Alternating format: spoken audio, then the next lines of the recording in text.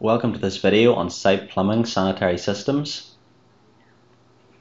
We're going to start by viewing a project we have created in the BIM Server Center.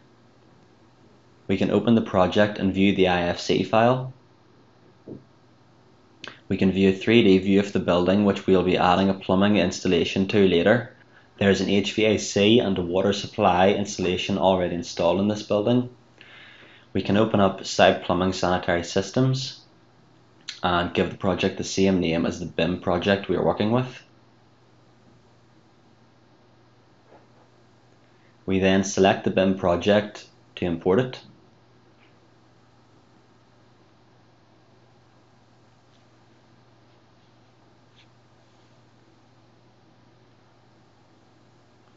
This screen is used to choose the configuration that you wish to work with in your project. You can enter your own data if you wish. You can see there's no information stored here yet.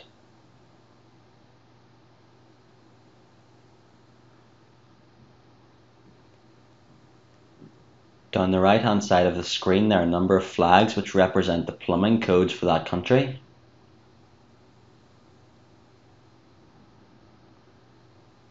We are going to use the UK code for this example and as you can see now all the data from the UK code has now been imported.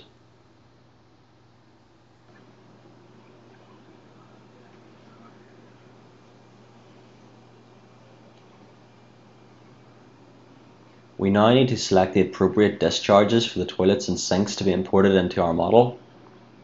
And as you can see the import is now complete. We can view the different floors of the building to make sure that the discharges have been imported correctly. We can view the information of the discharges by simply clicking on them.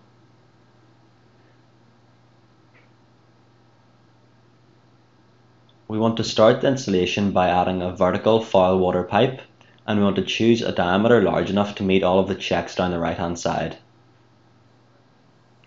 We select the floors that we want the vertical pipe to go to and we can now add a second vertical pipe the same as the first one. We can move the labels from the pipes to make the drawing look cleaner. We now add a foul water shallow inspection box.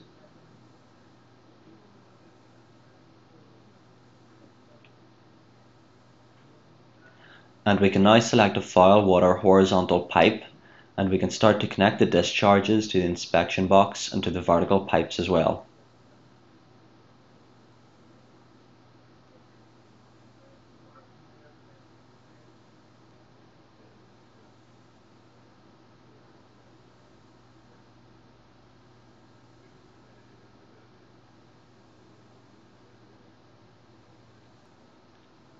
And again we can move the labels to tidy up the drawing.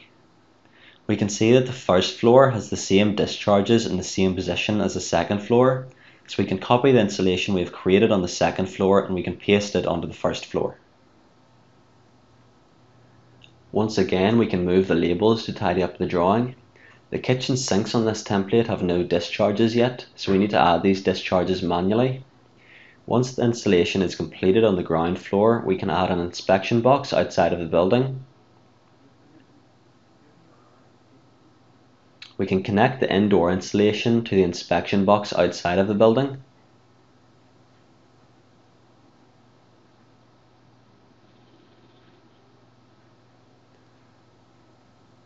A supply connection point is now needed before we can calculate the results. We connect the inspection box to the supply connection point. When we look at the 3D model, the installation does not appear yet. But once we click the 3D button, the model will update and we can see the installation in the 3D model. We can now update the results and we can see that we have errors on the screen. When we select a pipe, we can see what the error is and we know how to fix it now. To fix these errors, all we need to do is press the design button and it will calculate the correct size of all the pipes to meet the UK code that we are using. As you can see, all the errors have now disappeared and we can update the 3D model once again.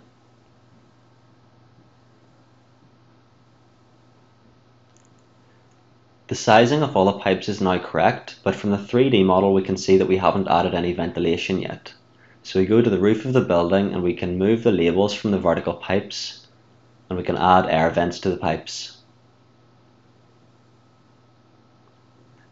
We want to fix the elevation of the vents to 1.5 meters.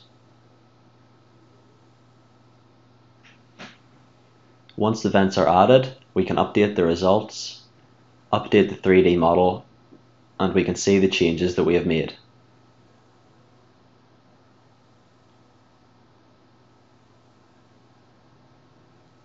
The installation is now complete and we can view the reports for this project. We can view the wastewater network and the materials list. We can also view the drawings for the report.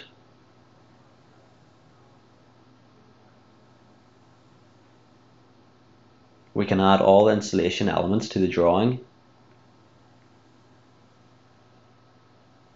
We can format the size of the drawing. We can move elements of the drawing.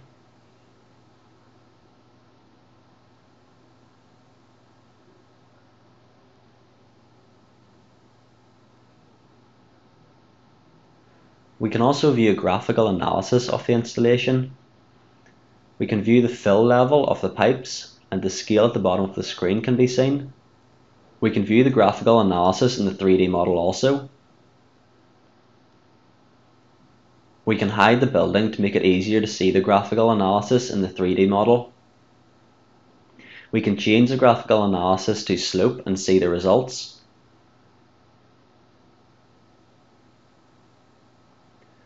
We can now export this installation back to the project that we've been working on.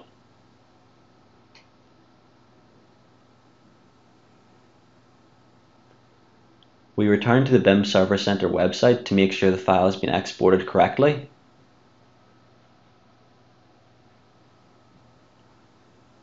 We can now go back to the IFC builder and update the original IFC file to include the plumbing installation that we've just created. We can view the updated IFC now in the 3D model and see that our installation has been uploaded correctly and that it doesn't interfere with the HVAC installation or the water supply pipes. Thank you for watching this video.